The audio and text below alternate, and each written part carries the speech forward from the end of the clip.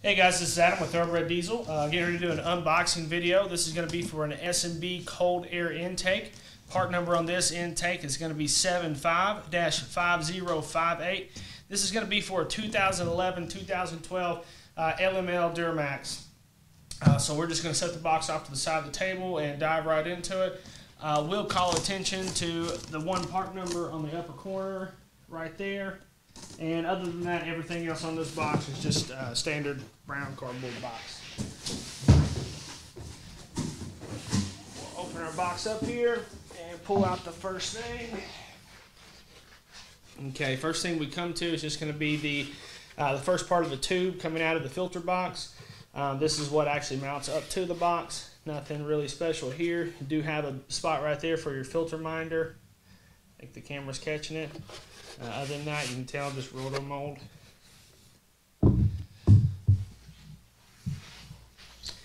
And we're going to come to the next section of the tube next.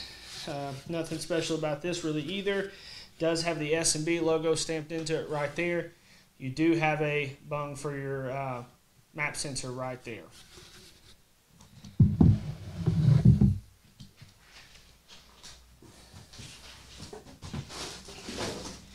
And next large thing we're coming to is the actual filter box itself. You can see right here it has a spot for the lid. This is actually the opening back here that your tube fits into. Fits better if you put it the right way.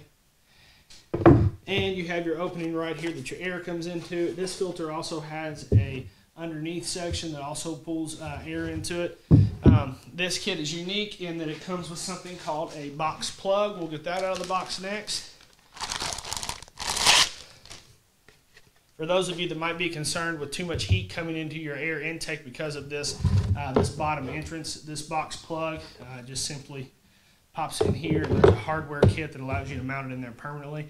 Um, this does reduce airflow, but it does also keep a little more heat out of your, your intake and your engine. So we'll set the box off to the side over here. Next thing we're going to come to are the two silicone couplers that it comes with. Nothing special about those.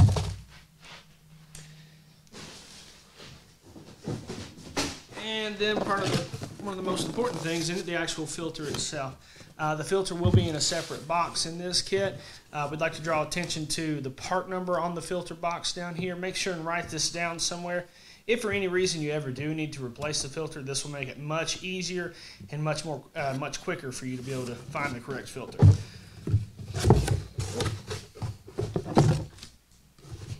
Set the box off to the side. And as you can see, nothing special about this filter. It is uh, S&B's uh, oiled cotton. You can tell by the purple right there.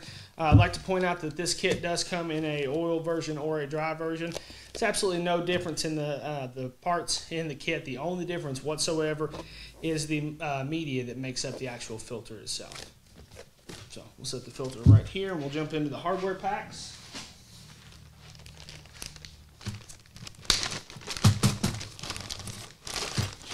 And first thing we'll pull out of the hardware packs are the four clamps right there. Uh, just a hardware pack with some bolts and washers.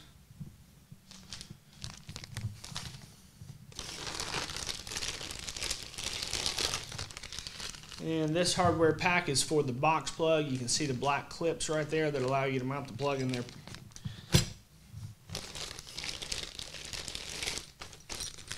and the last hardware pack, which again is just some more bolts and washers. Uh, you'll see also that it does have a supplied uh, Torx bit in there for you, so that should help you out right there.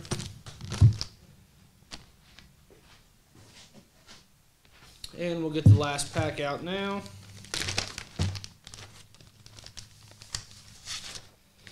First thing we're going to pull out are the instructions. Uh, as you can see, they do have full color step-by-step -step instructions. Very good, very easy to follow. Uh, having the full color at pictures make it a whole lot simpler.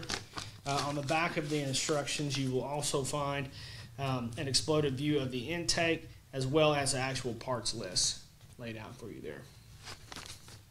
So we'll set those right back here. And then we'll pull out, this is the, uh, the plastic, the plexiglass lid, which goes over top of the box over here. Um, it does have the cardboard on it right now to prevent scratching, but you can see the logo is etched into it already, uh, ready to go. So set that on top of the box. And then last thing you get in the box are two decals. One obviously being the S&B Filters decal. And probably the more important of the two decals is a carb sticker. Uh, this carb sticker really comes in handy um, if you live in California or one of the other states that does really uh, strict fog testing. So this has been an unboxing video for S&B Cold Air Intake. Part number again is 75-5058. Thanks for watching, guys. Make sure and follow us on uh, Facebook, subscribe to us on YouTube, and if you have any questions about this intake, please just post them in the comments below. Thanks for watching.